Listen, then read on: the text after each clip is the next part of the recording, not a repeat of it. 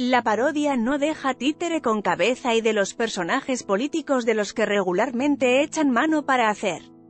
Sus chistes, ahora pasarán a imitar a los personajes populares del momento en la nueva temporada que inicia mañana lunes.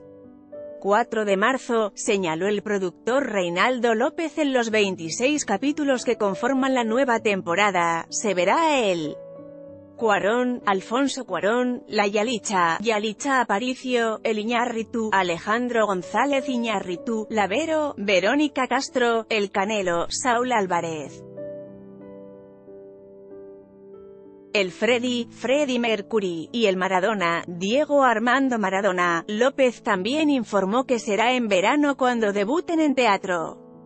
Con la parodia 2 y aclaró que en el programa de televisión continuarán dando de qué hablar Doña Márgara, la Seinbaum, el Fox, el Trump, la Margarita, Zabala de Calderón, el Luisito Rey, el Luis Miguel mismísimo Juan Gabriel, el principal objetivo es hacer reír a la gente, con la motivación de ir de la mano con la actualidad en cuanto a la información que se crea en las distintas esferas del entretenimiento, la política, los deportes.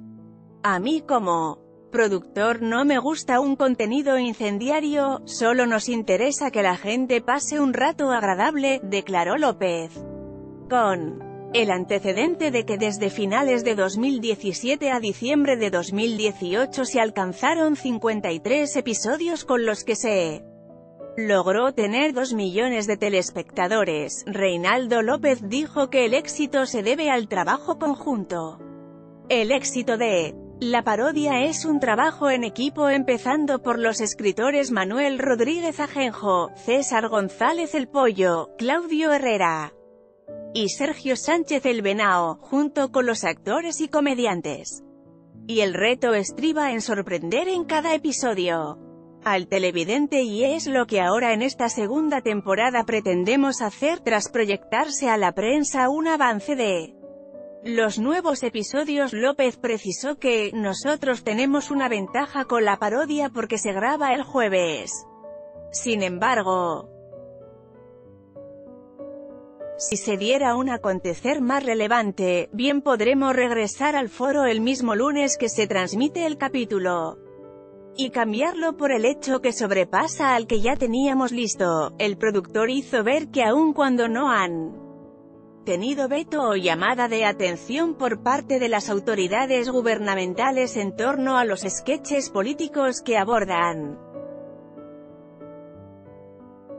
Preciso, nosotros tenemos una línea propia que nos hemos marcado. Respetamos la investidura del presidente actualmente Andrés Manuel López Obrador.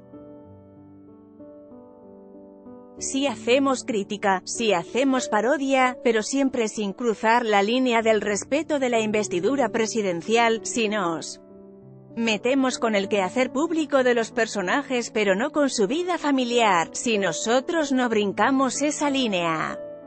No debemos de tener problema, eso espero y ya lo veremos.